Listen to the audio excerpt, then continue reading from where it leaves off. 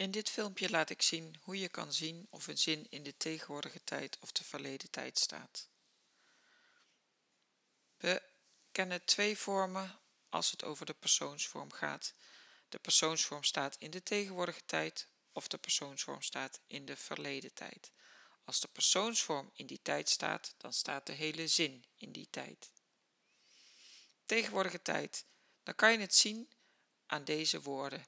Nu, tegenwoordig, op dit moment, vandaag, morgen, over een week. Voorbeelden: we rekenen nu deze som uit. Hij fietst tegenwoordig zelf naar school. Op dit moment is de toespraak van de koning bezig. Mijn moeder kookt vandaag. Maar ook de zinnen in de toekomst. Mijn vader kookt morgen. De première van onze musical is volgende week.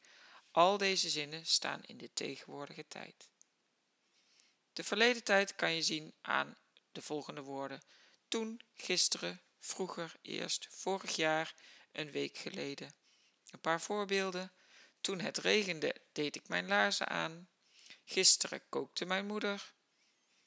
Vroeger kon ik nog niet fietsen.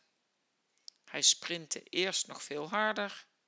Vorig jaar werd ik elf jaar. Het boek las ik een week geleden al uit. Allemaal zinnen in de verleden tijd.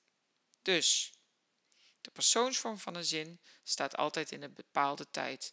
Dat kan je zien aan de context van de zin of aan deze woorden. In de tegenwoordige tijd zijn dat nu, tegenwoordig, op dit moment, vandaag, morgen, over een week. En in de verleden tijd, toen, gisteren, vroeger, eerst, vorig jaar, een week geleden. En er zijn nog veel meer van dit soort woorden. Succes!